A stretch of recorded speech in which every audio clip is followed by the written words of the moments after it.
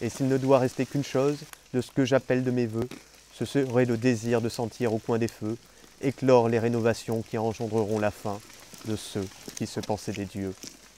Puisse cette lie d'oligarques et de technocrates comprendre les marques avant la fin de l'acte, que leurs actes mèneront à la chute de l'arc, qu'au lieu de nous infliger des sarges, il ferait mieux de se prendre en charge, de comprendre que le naturel est un universel, de savoir quand reconnaître leur propre incompétence, et quand les envoyant paître, nous y gagnerons notre indépendance, de réaliser que leur fortune signe notre propre infortune, qu'elle n'est ni commune, mais mère de nos rancunes, ni gagnée par les urnes, mais maîtresse de leurs lacunes. En nous réduisant à des chiffres, ils pensent faire de nous leurs sous-fifres. Pourtant, pourtant, comment prédire plutôt que médire? Et pourquoi prévenir pour ne pas maudire?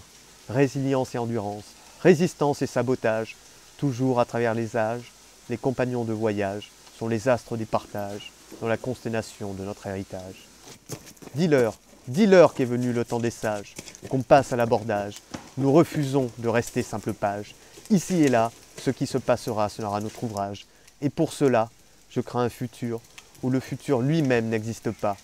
Car, car en ces temps de disette et de misère, nos pensées, nos complaintes, nos rêves et nos craintes guident notre amour de la paix numérique et notre haine de la guerre physique. Que notre triste terre tremble et qu'elle s'exténue.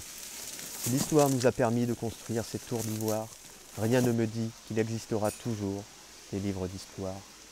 Et s'ils n'agissent pas contre cette macabre prophétie, c'est parce que ces gens-là ne pensent qu'en termes de profit. Dystopie et utopie, oligarchie ou anarchie, il y aura des deux où nous ne serons plus rien. Pour les uns, c'est un jeu, pour les deux, c'est un enjeu. Monsieur, s'il vous plaît, il serait temps de vous résigner. Au moins, au moins je n'entends rien. Tu ne cries pas assez fort.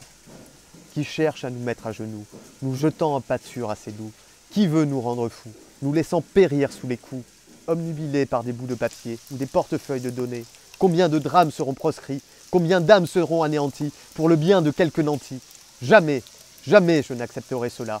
Et au nom de quoi De quel droit aurions-nous un avenir sans choix? Quand cette vaste et néfaste caste de dynastes dévaste ce qui fait notre faste, je ne sais point si notre aurore sera courte, mais elle sera chaude